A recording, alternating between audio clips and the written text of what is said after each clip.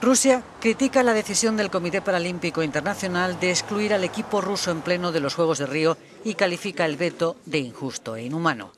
El presidente del Comité Paralímpico ruso ha asegurado que, según el informe antidopaje McLaren, 35 atletas rusos dieron positivo, pero ni se saben los nombres ni aparecen las pruebas de dopaje. En primer lugar, hay 270 atletas paralímpicos limpios, que nunca han infringido una norma, que son castigados y sobre los que se va a destruir su destino. Luego descubrirán si era cierto o no. Resulta tan increíble que estoy totalmente impresionado.